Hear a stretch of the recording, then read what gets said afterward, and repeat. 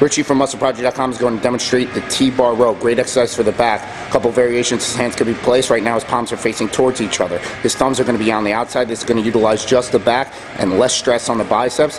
He's just going to pull it straight up into his abdomen. He's keeping his chest on the pad at all times. His elbows are going to be as in as possible. He's just going to pull it up with a full stretch at the bottom and a nice squeeze at the top. Just going to do this one more time. Pull it all the way in looking straight at all times, and that is how you do the T-bar row for back.